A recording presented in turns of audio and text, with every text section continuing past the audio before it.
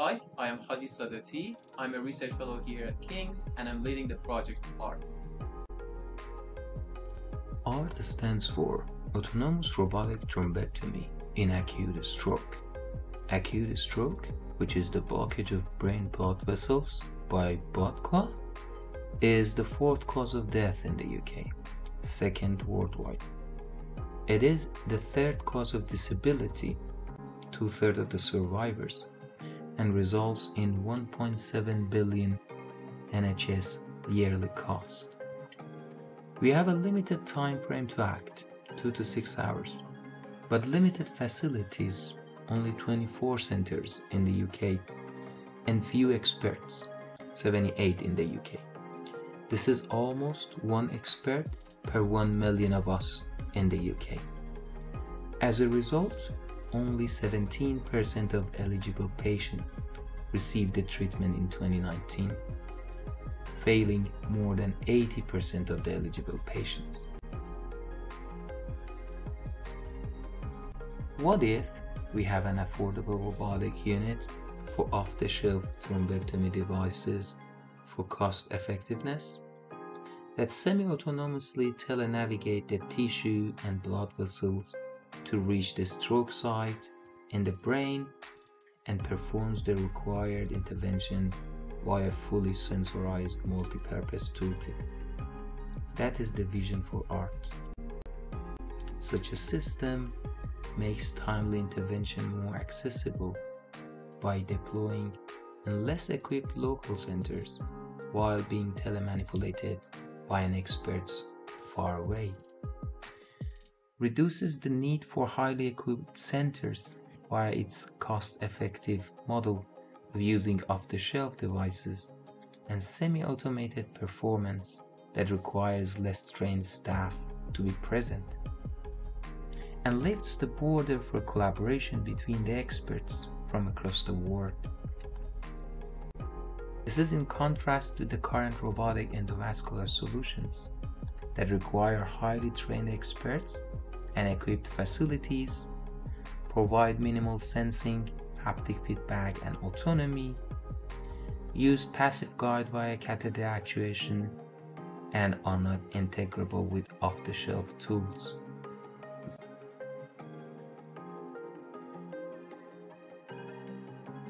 ART is defined in close partnership with clinical specialists at King's College Hospital.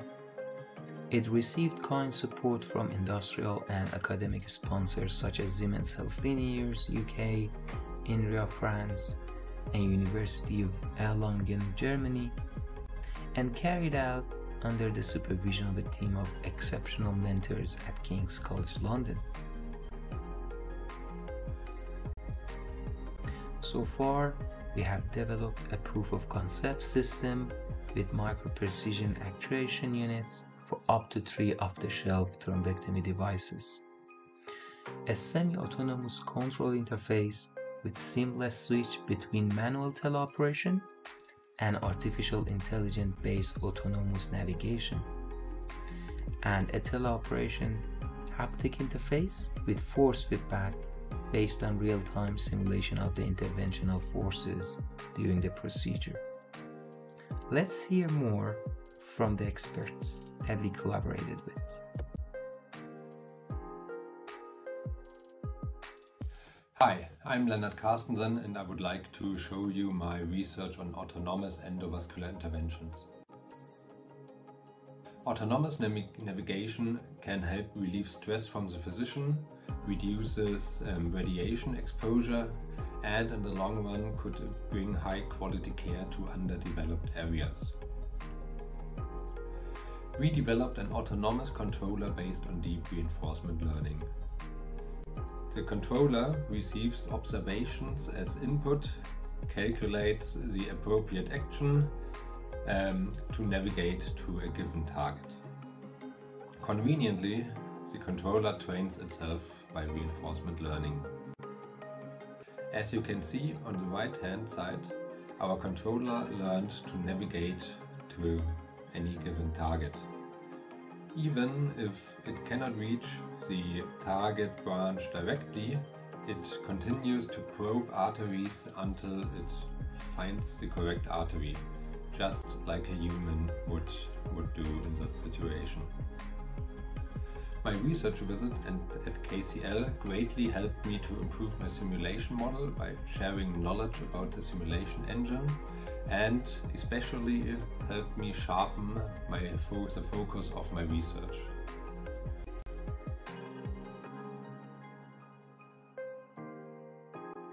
I'm Ben Jackson. I'm a PhD student here at King's College London, supervised by Dr. Thomas Booth at Professor Kawal Rhode, and I'm looking at teleoperated mechanical thrombectomy for acute stroke. In this project, our primary aim is to develop a controller responder robotic system for teleoperated robotic surgery, ultimately expanding access to critical care. Firstly, we've designed a two degree of freedom human robot interface with haptic feedback. This interface enables precise control over catheters, guide wires, and other endovascular devices. Our control methodology was then rigorously validated with the input of nine interventional radiologists. We've conducted tests in a simulated surgical environment using the soft open framework architecture, otherwise known as SOFA. We measured elements of the surgical procedure that directly affect patient outcomes and gathered qualitative data regarding the surgeon preference in the operating room. So far, we have showcased repeatable performance of our system in in vitro experiments with realistic phantoms based on patient scan data and carried out preliminary user studies to benchmark the system and transfer the general techniques being used by clinicians to our robot. With the help of multiple short-term and prime-prime fundings, we managed to bring ART to an early translational phase. Our next steps are acquiring necessary funding to improve our system and to perform thorough benchmarks in ex vivo and cadaver studies, as well as to acquire necessary IPs and required translational skills such as medical system design the quality management system, health economics, and market analysis. These will prepare our technology for subsequent mid-translational phase.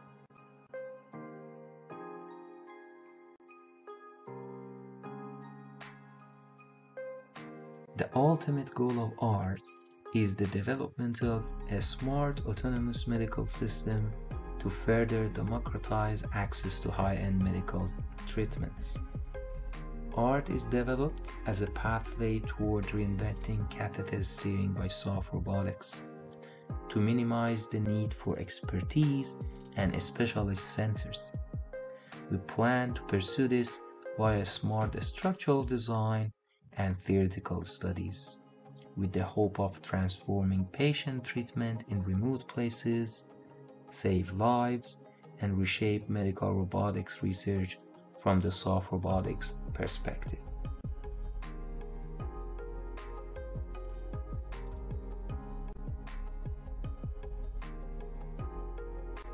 Thank you for your attention.